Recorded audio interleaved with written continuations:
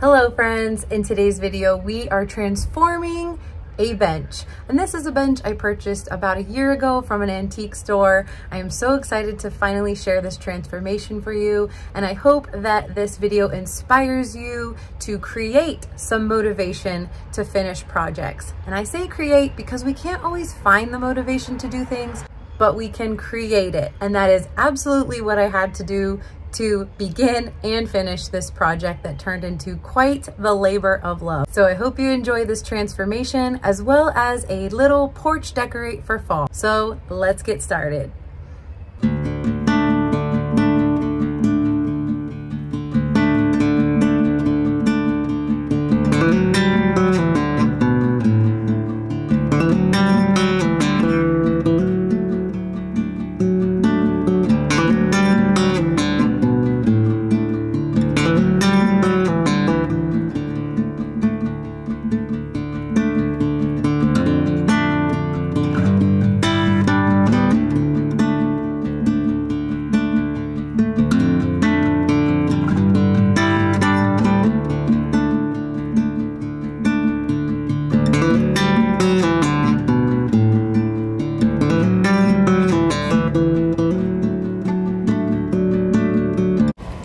Have the Citristrip all over the bench.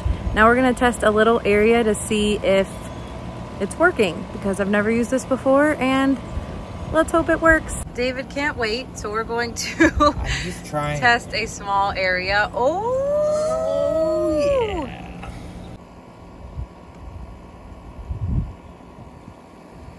And this is the moment when I realized this project is not going to be so easy breezy. I decided to give it some more of the Citristrip and give it some more time for the paint to come off because this part of the bench was a different wood than that back piece. So I just continued moving on and scraping off as much of the back piece that I could. And as you'll be able to tell, there were still some areas that just needed either more Citristrip or more time or a combination of both.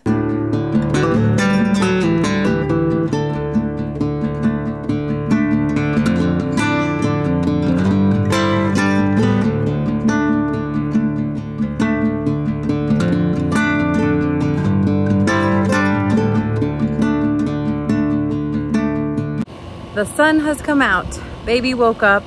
I figured that was gonna happen, but this is the progress so far. I think I'm gonna have to add some more of the Citristrip in areas and get back to work. So you can see this is two different colors because obviously, well, not so obviously, but I'm pretty sure that's a headboard that they attached to this wood to make the bench. Um, and so there's areas that do need a little bit more of that Citristrip so that way I don't have to scrape too hard. Um, and then the pieces that I didn't get to finish before baby woke up. So we will return to the project after a quick break. Mm-hmm. Getting the paint off. But why am I doing this? Good question. I think this would come off better with a smaller brush because this is gonna take forever if I use this guy. Um, oh crap, I wanna get into the wood there. That's kind of what it's doing. So let me stop and go to a different spot.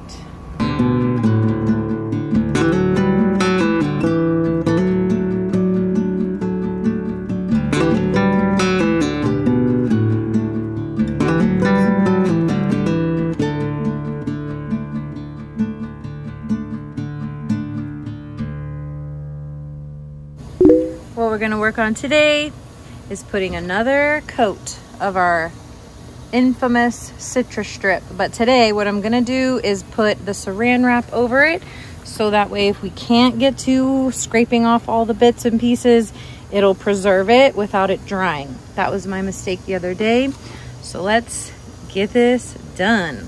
So I think I've decided I'm just going to saran wrap the armrests and whatever is remaining on this back part of the bench because I don't know why I thought saran wrap would maybe be an easier fix because we all know plastic wrap not easy to work with. And if it is easy for you to work with this please give us all the tips and tricks because I definitely need it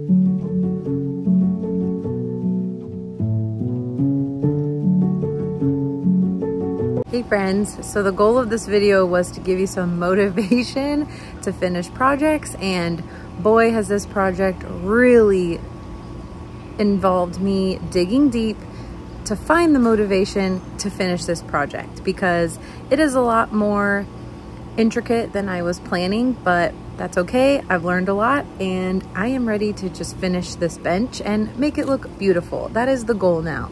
So I put the Citristrip on with the saran wrap about 30 minutes ago. So let's check and see if it's ready for me to remove some more of that paint. Okay, let's see what this saran wrap business is all about. All right, we're bringing up some more paint. It's not going to be perfect. And that's a part of this project I've had to understand. It's not going to be perfect, and I am going to have to sand this whole bench anyway, so no big deal.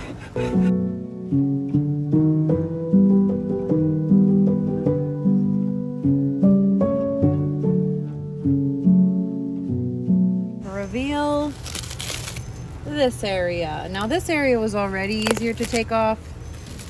This headboard was a lot more a lot more fun to work with in terms of taking this paint off with the Citristrip. See there? That's what we like. Nice and easy. that other wood is just absolutely stingy. Wants to hold on to that paint pretty badly. But as I've been saying a thousand times, we're gonna end up sanding this whole thing anyway, but that's already looking better.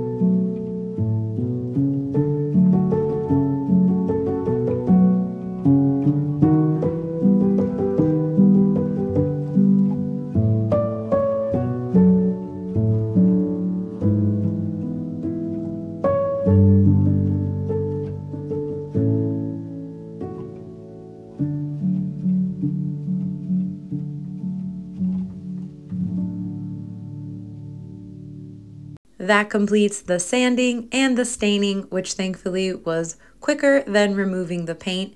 This is a second coat, so David did the first coat of the staining and I decided to go in with the brush to give it a more refined stain and get in those nooks and crannies of the detail of the wood.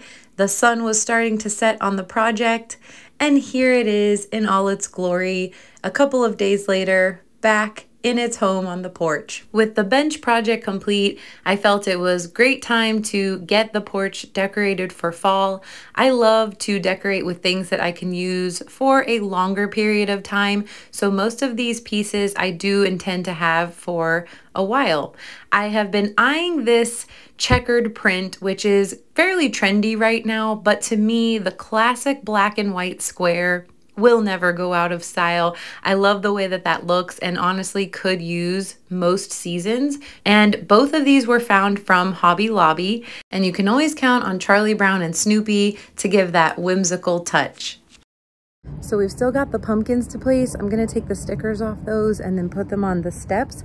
I'm thinking I'm gonna use the flowers to fill out around it and then add the lights. So let's put that together and see if we like it. And because this side has the railing, I don't love to clutter that side up because if practically speaking, someone's using the railing to walk up that way, I'm thinking it would look nice right here too. And then you don't have to worry about it being in the way of someone walking. So let's try that. It's a couple of our larger ones. I might do orange and then change it to white. Let's see. I might be needing the little ones to fill it out a little bit more. Do we want these together? Let's continue. Okay, so the goal here is to have a big group and then the lights coming through and these four were about $20 and I really wasn't interested in spending 20 upon 20 of dollars to fill out as I, you know, in my imagination would have liked to do. So we're going to make this look as full as we can by adding the flowers in. And then we have three in the little miniature pumpkin pack. So let's give that a whirl and see what we think.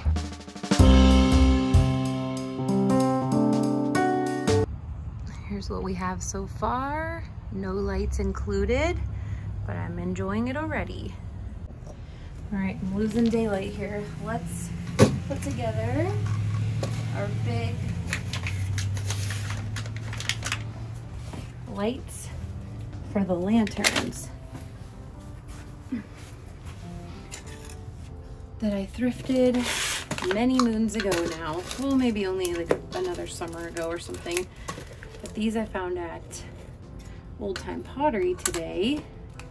And I was looking for something, these are totally plastic. My other ones that were like wax melted. That was not good. oh, well that came off a lot easier. Didn't even need those scissors. And they were $9.99, but they were pretty much everything in the store was 10% off. So did save a little money on them. And they do require these big C batteries.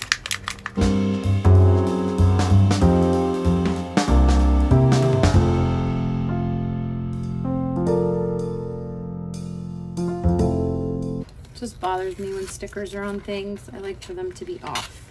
Even when they're a pain to take off, I still try to take it mostly off. weird, weird things, you know? Particular things see how that looks. Ooh, lovely. Let's do the next one.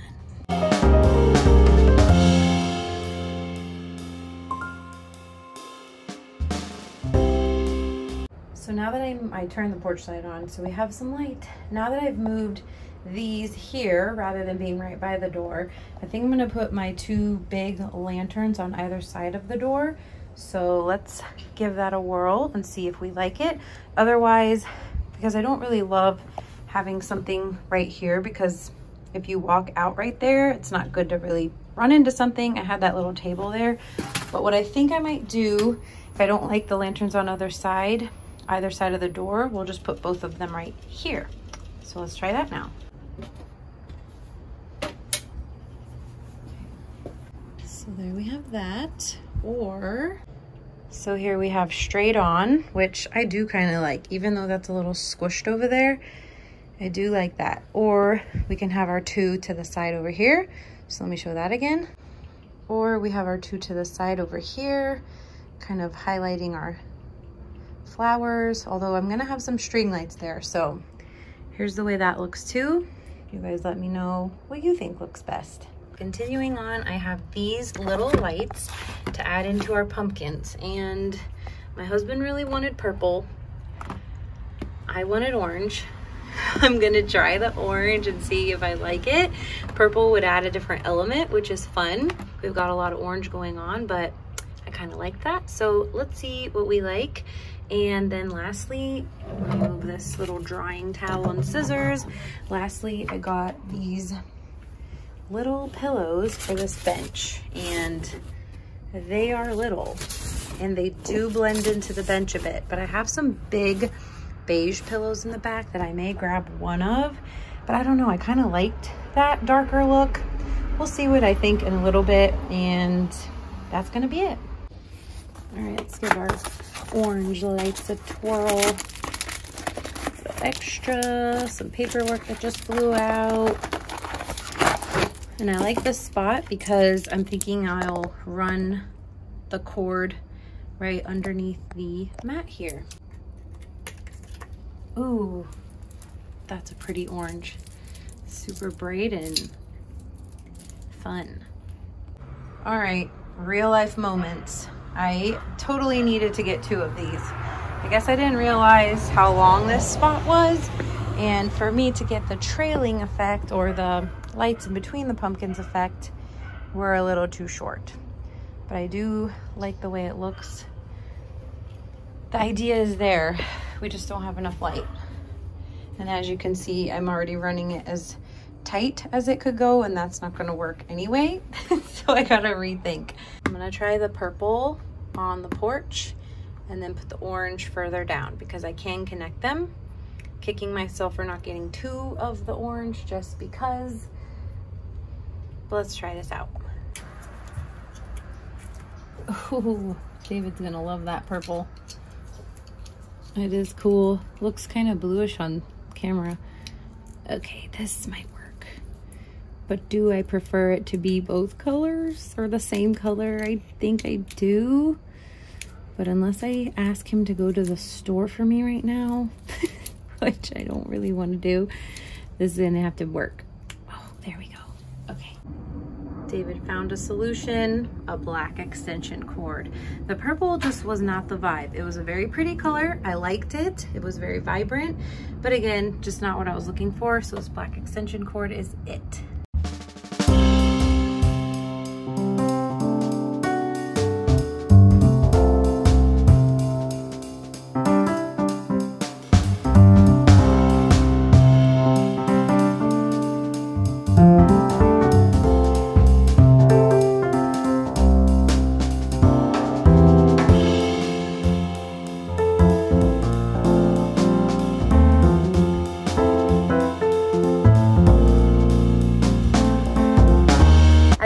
Enjoyed today's project of transforming the bench and decorating the porch with a little bit of fall decor.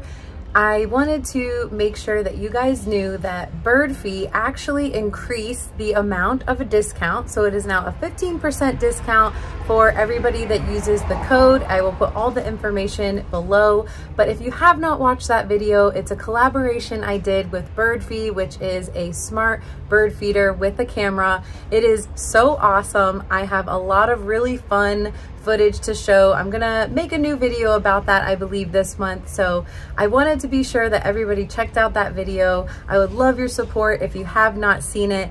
Thank you guys for watching. I hope you enjoyed today's video and I will see you next time. Bye.